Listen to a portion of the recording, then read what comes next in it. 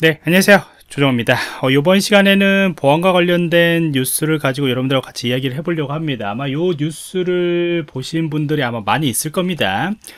그런데 요거에 대해서 이제 뭐 잘못됐다 어, 잘못되지 않다 맞다 이런 이야기보다는 혹시나 이 내용만 가지고 또 이제 어, 이렇게 한쪽 면만 네, 이렇게 보실 것 같아 가지고 네, 여러분들한테 이제 솔직한 생각으로 하나씩 좀 이야기를 해보려고 하고요. 그 다음에 요 안에 있던 내용들 같은 경우에도 이제 비교가 좀 잘못된 부분들이 있는 것 같아서 음, 제가 현실적인 이야기들을 어, 이야기해 보려고 합니다. 그래서 학생분들 같은 경우에도 참고만 할 뿐이지 제 주관적인 어, 내용들도 들어가기 때문에 어, 이렇게 좀 미리 아시면 좋을 것 같아요. 자 우선은 이제 안랩 한달 새 이제 30명이 퇴사가 됐다라고 이런 이야기가 나오고 있고요.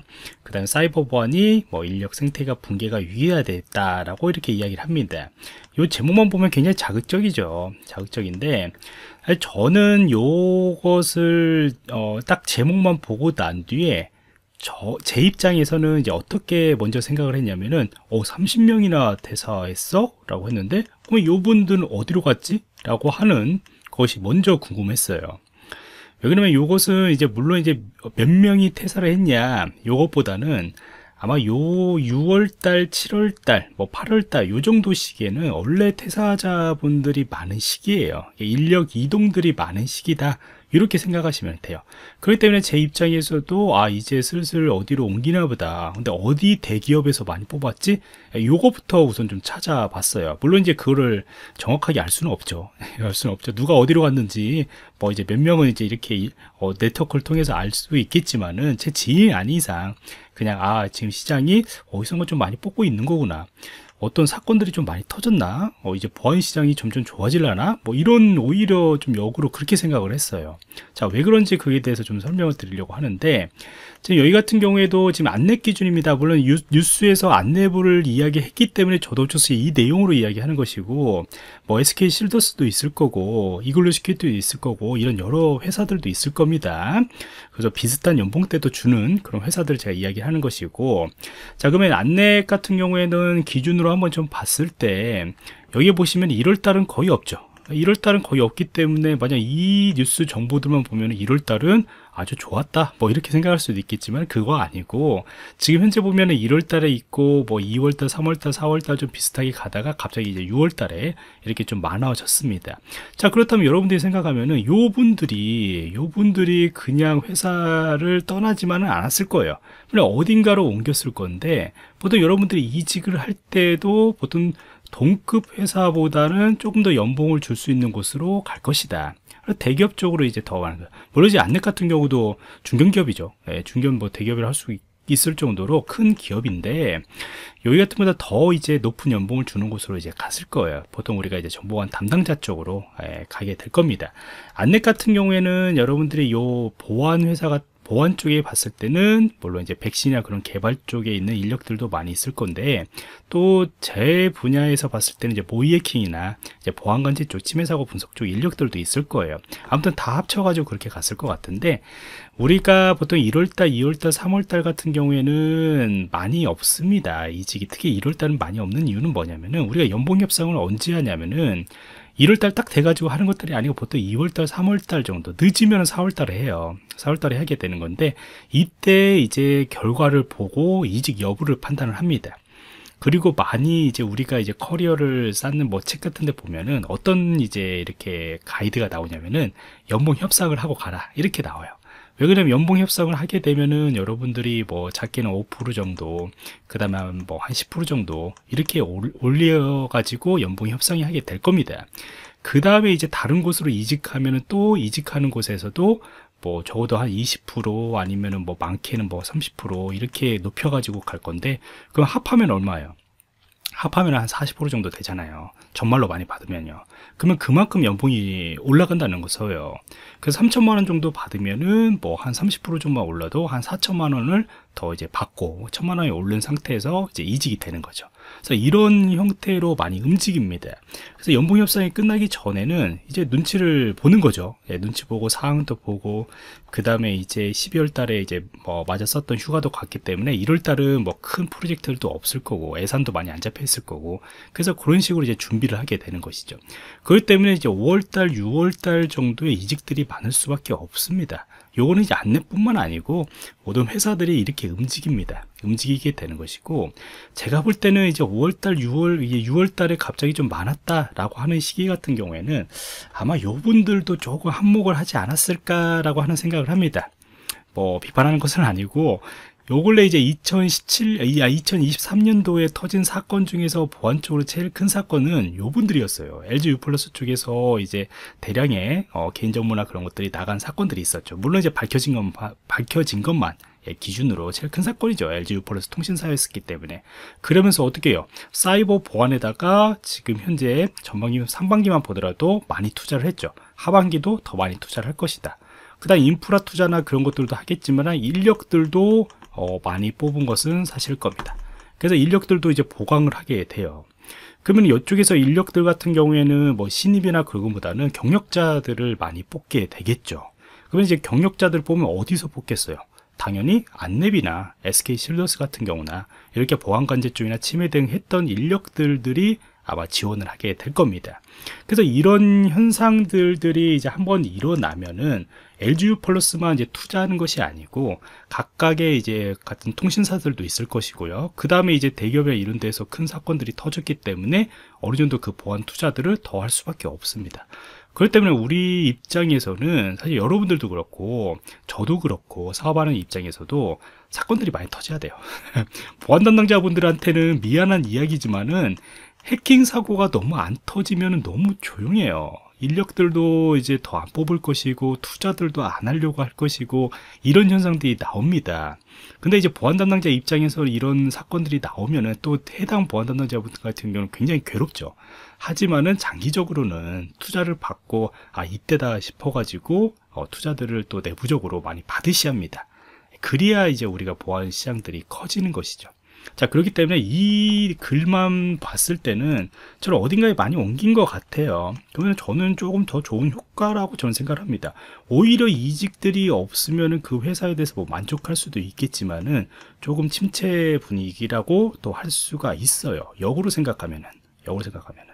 사실 이번 연도에 침체 많이 발생한다. 그리고 이제 어, 여기하고도 좀 관련돼 있겠지만은 IT 인력들을 많이 뽑았죠 어, 참 그 코로나 시기 때 그 다음에 여기서 말하는 그 IT 연봉들이 사실 많이 오른 시기가 언제냐면은 그 전에도 개발자분들이나 그런 분들 같은 거 그래 많이 오르지 않았어요. 근데 언제요?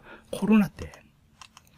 코로나 이 시기 때 돈이 엄청나게 이제 풀렸죠. 뭐 연봉만 올린 것이면 제일 그게 어떻게 보면 이 영상을 보는 분들의 연봉 자기 연봉이 안 오른 것처럼 이렇게 어, 생각할 수밖에 없는 부분들이고 실제 그러기도 하지만은 전체적으로 봤을 때는 분명히 많이 올랐던 예, 시기였습니다. IT가 특히 IT 쪽으로요 많이 올랐고 그 다음에 이제 물가도 그만큼 많이 올랐죠. 그러니까 이제 저도 회사 직원들한테 이제 연봉을 주는 입장에서도 항상 미안하죠. 네, 더 많이 주고 싶은데 시장들이 그것들을 많이 따라가지를 못하고 있어요. 예, 시장은 제가 볼 때는 어, 이번 연도 많이 침체가 되었는 시기다. 코로나에 비해서는. 코로나 때 너무나 많이 풀렸죠. 사실 돈이 많이 풀려가지고 그런 현상들이 일어났습니다. 그래서 비교를 하면은 지금 현재 그렇게 이제 비교를 하신 것 같아요. 그래서 여기 보시면은 이제 보안보다는 이제 다른 IT, 동일한 이제 안넷 같은 경우에도 아까처럼 이제 보안 솔루션 개발하고 같은 IT 직종이죠. 그러니까 보안 인력들도 IT 직종이라고 어, 하죠. 우리 IT 직종인데 거기에 대해서 이제 다른 것보다도 너무나 적다. 뭐 이렇게 이야기를 합니다. 그래서 보시면은 뭐 이제 뭐 삼성에서 굉장히 1억이다 다 1억 1억 1억이 연봉이 당연하다시피 이렇게 다 써놓고 있습니다. 특히 여기 중에서는 이제 네이버나 카카오 같은 경우에 여러분들 아시다시피 투자를 엄청나게 했고 인력도 투자 많이 했고 연봉도 많이 높았습니다. 근데 최근에 여러분들 아시다시피 카카오나 네이버 같은 경우도 그렇게 좋지는 않죠. 특히 이제 카카오 같은 경우에는 등치를 많이 키웠는데 요 근래 여러분들 뭐 주식이나 그런 데 보시면은 어, 또 많이 이제 인력들도 감소를 하고 있고 그다음 대부분의 계열사들이 적자를 되게 많이 내고 있어요. 그러니까 이제 많이 못 버티는 수준이 된다는 것이고 다른 IT 기업 같은 경우에도 특히 이제 스타트업으로 굉장히 덩치를 컸던 회사 같은 경우에도 좀 어, 많이 없어지고 있죠. 더 심해질 겁니다. 아무튼 그런 현상들이 현재 좀 많이 나오고 있다. 자, 근데 요거 비교가 조금 살짝은 제가 좀 어, 캐스천이 나오고 있었어요. 사실 요 이야기가 오늘 좀 많이 메인일 수도 있겠는데 지금 현재 보시면은 그냥 요 글만 보면은 어, 이 보안 쪽이 참 연봉 안 주는 것 같다. 왜 우리는 5천만 원이면 뭐 물론 이제 요것도 많이 받는 부분들이라고 생각할 수도 있겠지만은 다른 데에 비해서 야 이 정도인데 당연히 이쪽으로 가는 거 아니냐 라고 하겠지만은 우선은 첫 번째는 저희가 이제 삼성 SDS나 LG CNS나 네이버 같은 경우나 카카오 같은 경우에는 보안 회사가 아니죠. NC소프트도 그렇고 뭐 NC소프트 요즘 많이 매출이 좀 줄어들었지만 그래도 넥슨 같은 경우도 게임 회사잖아요. 그래서 이분들 같은 경우에는 각각 분야에 정말로 이제 최고에 있던 대표적인 회사들이에요. 이분은 보안을 통해 가지고 돈 버는 회사들이 아니라는 것이죠. 그렇기 때문에 사실 이 비교를 이 안에서 이제 다른 보안 인력들을 가지고 좀 비교를 했으면은 아마 이 정도까지 차이는 나지는 않을 거다 라고 하는 것들이 제 이야기인 것이고 그 다음에 아까도 이야기했듯이 우리는 이런 분들이 만약 점, 정말 보안 인력들도 연봉이 같이 이제 높아졌다 라고 한다면 여러분들한테는 굉장히 큰 기회다고 저는 좀 이야기를 하고 싶어요.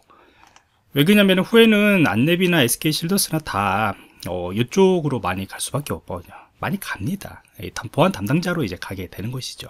뭐 처우나 그런 것들도 있겠지만은 이제 이제 갑이나 을이라고 하는 것들이 조금 어, 이루어지고 있죠. 그래서 이제 그 컨설팅 업체 같은 경우에는 이제 갑사, 고객사라고 얘기를 하죠. 이 고객사를 대상으로 서비스하는 것들이 거의 대부분이죠. SK 실더스나 안넷 같은 경우에도 다른 모이킹이나 어, 보안관제 인력들도 근데 이제 이갑 쪽의 위치들을 아마도 고객사 위쪽으로 가면은 이제 관리 파트로 가게 되는 것이고요. 관리를 한다는 것은 어, 직접적으로 이제 자산의 자시 서비스, 자기 회사의 그런 서비스에 대해서 지원을 하는 부서들입니다. 보안 파트 같은 경우에는 어, 앞에서 다른 업종에 통해서 돈을 벌고 있는 회사에 지원을 해주는 거예요. 내부적으로. 그래서 우리가 지원 부서라고 이야기를 하게 되는 것이거든요. 음, 그래서 우리가 좀 다르죠. 그래서 요 분들이 앞에서 이제 게임이면은 게임 회사에 있는 부서들이 돈을 더 많이 벌어주면은 그만큼 이제 연봉들이 높아지는 것이고 그렇지 않고 굉장히 침체가 되면은 오히려 이제 어 이제 우리가 투자를 많이 하는 만큼 떨어지는 것도 굉장히 크게 떨어집니다. 그래서 이제 주위에 보시면은 뭐 희망퇴직 이야기 많고 뭐 증권회사, 은행 그런 많이 있잖아요. 그래서 요 같은 경우는 그런 예, 로테이션을 돌고 있습니다. 아무튼 근데 이제 이쪽에 보시면은 이제 question 나오는 부분이 어디냐면은 바로 여기에요. 지금 연차를 한번 좀 보시면은 비교가 좀 이상하죠.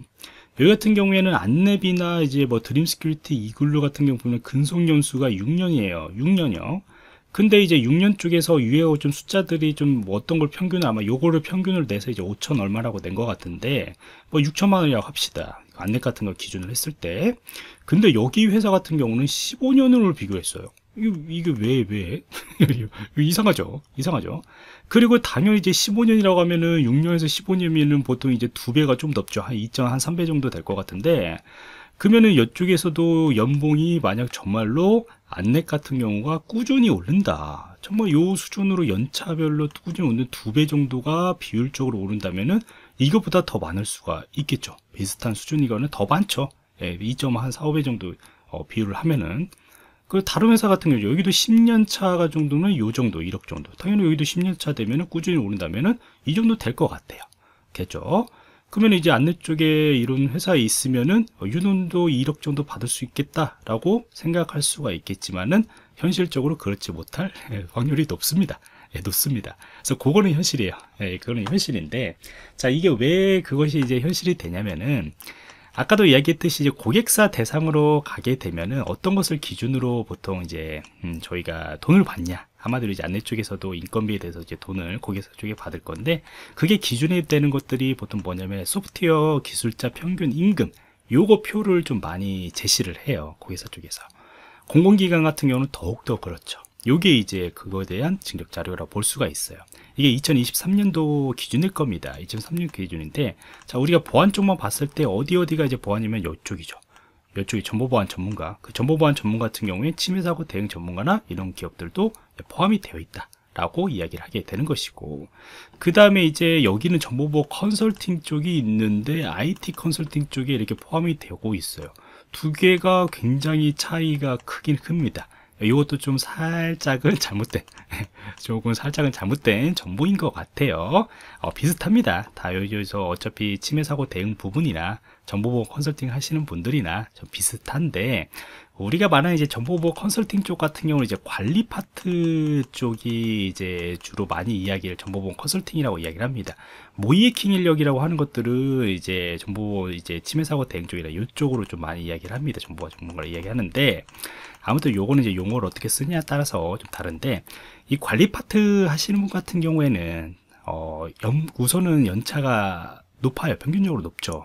왜 그러냐면 보통 기술적으로 하고 난 뒤에 한 3년 차에서 이제 5년 차 정도 갈 때 이제 관리 파트로 좀 많이 넘어가고 그 다음에 이제 PM급 쪽으로 간다고 한다면은 한 이 정도로 받는 것들이 맞아요. IT 컨설턴트 쪽하고 어, 이야기하는 이런 쪽하고 받는 것이 맞습니다. 자, 그런데 이제 뉴스에서 나왔듯이 그러면 다른 소프트웨어 개발자나 그런 분들은 어느 정도냐? 이렇게 나와 있습니다. 지금 이것만 지금 숫자로 봤을 때는 정보반 전문가보다 적다라고 하는 것들이죠. 근데 이제 비교를 유다로 하니까 이렇게 하니까 좀 이상한 거죠 이상한 거죠 그렇습니다 근데 이제 제가 이제 한계가 좀 있다라고 하는 것들은 뭐냐면은 보통 이제 어 이제 고객을 하는 이제 하다면은 이제 을사라고 이야기했어요 을, 을 쪽에 있으면은 요걸 기준으로 이제 돈을 받는다고 얘기했잖아요 그러면은 이쪽만 봤을 때 정보보안 청구가 평균적으로 한 700만 원 정도 이렇게 받습니다 여러분들이 받는 월 임금이 아니고요 고객사가 이제 업체한테 주는 기준이 되는 거예요. 그래서 우리는 여기다가 이제 플러스 알파를 해가지고 뭐 기술 이전이나 뭐 이런 거 해가지고 아무튼 맞춥니다. 자 그러면은 요거 기준으로 맞춘다고 했을 때 평균적으로 한 중급이라고 합시다 평균이니까 중급 그 정도 그렇게 실질적으로 이제 받아요 중급 인력 같은 경우에는 보통 우리가 이제 뭐 3년 차에서 이제 5년 차 정도 이제 중급 인력이라고 이야기하게 되는 건데 그분들이 한 800 정도를 우리가 이제 받는다고 합시다 800 어, 이 정도는 실제적으로 이렇게 받아요. 모의킹 인력들, 그 업체들한테요. 자, 그러면 이제 800을 받는데 요것들을 가지고 월급을 줘야 하잖아요. 예, 사장은 월급을 줘야 하는 것인데 보통 여러분들도 아시다시피 한 2.5배 정도 뭐 정말 많이 주면은 한 2분의 1 정도 해서 왜 그냥 운영비나 뭐 퇴직금 같은 경우나 뭐 이런저런 뭐 부가적인 뭐 임대 뭐 이런 것들 막 다 있잖아요. 그러면은 뭐 정, 말 많이 주면 한 400 정도 준다고 합시다. 400이면은 연봉이 뭐 한 4,800 정도 그대가 어, 그 정도 되죠. 예, 그 정도 되죠. 그러면 이제 그 정도 준다고 했을 때도 하면은 이제 그 나머지 가지고 이제 회사를 운영을 하게 되는 거죠. 회사를 운영하게 되는 건데 그러면은 이제 더 연봉을 주려면 어떻게 하겠어요? 당연히 더 많이 받아야겠죠.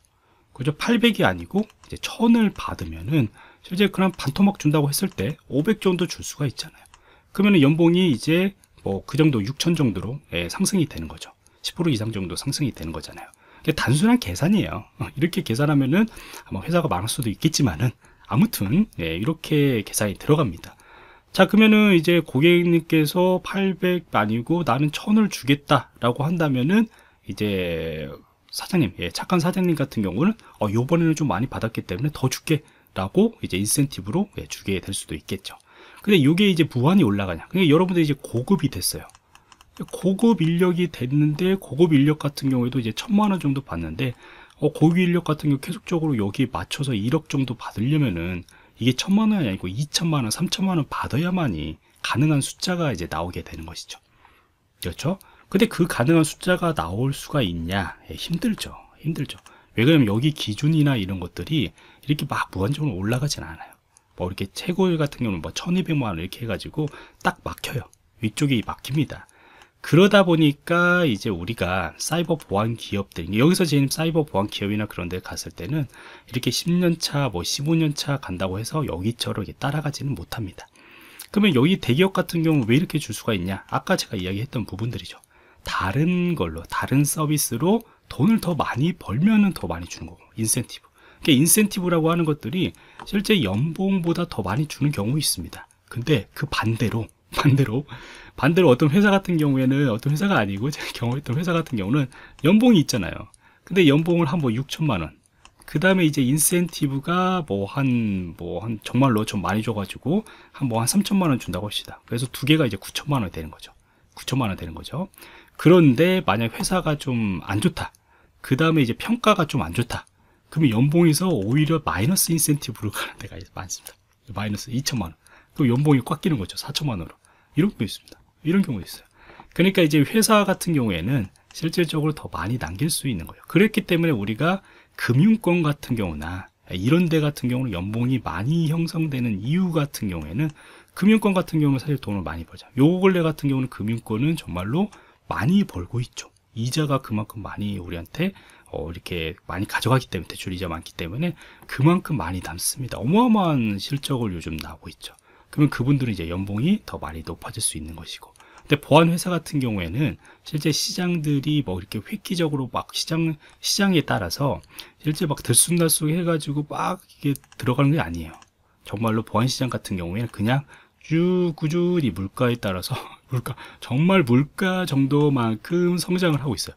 예, 물가 물가가 50% 아, 그 정도 아니야 물가도 보다 아무튼 여러분 생각하는 물가 한 3%에서 5% 이렇게 해가지고 조금 조금 조금 조금 계속 이렇게 올라가는 추세입니다. 제가 보안 처음 했을 때도 그랬어요.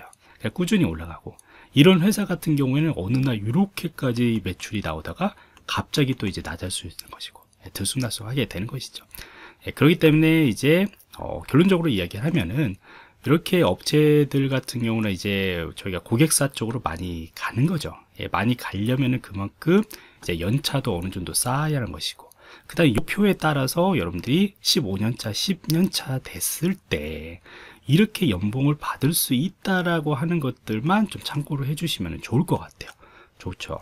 받으면 좋잖아요. 1억 연봉 넘게 하면은 정말 좋잖아요. 그래서 이런 이렇게까지 여러분들이 이제 보안이라고 하는 영역에서 잘 이제 재밌게 버틸 수 있냐 이런 것들이 하나 이제 진로가 되는 거죠. 그래서 여러분들이 잘 버틸 수 있다 생각하고 꾸준히 성장할 수 있다면은 어, 요것을 바라보면서 이렇게 연차들을 쌓을 수 있다라고 생각하시면 됩니다. 물론 이제 중간에 정말 운이 좋다. 정말 나는 이제 뭐 한 2년차, 3년차 때 정말 금융권의 탑으로 나는 좀 간다거나 어디 이런 데도 다 탑이죠. 그래서 이런 데에 업계로 이제 탑으로 간다면은 어, 순간적으로 또 많이 올라갈 수도 있는 것이고 또 이제 뭐 부가적으로 또 더 기회가 좋으면은 더 많은 연봉을 또 벌을 수가 있는 것이고 이렇게 생각하시면 됩니다. 아무튼 한 영상에 제가 담기에는 너무 좀 작은 것 같아요. 더 많은 이야기를 좀 드리고 싶은데 그래서 후에 또 다른 쪽으로 해가지고 이런 이야기들을 한번 좀 같이 나눠보도록 할게요.